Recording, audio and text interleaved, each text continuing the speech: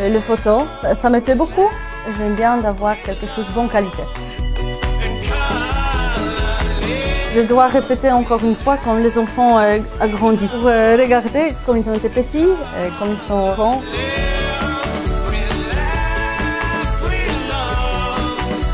C'est un très bon souvenir.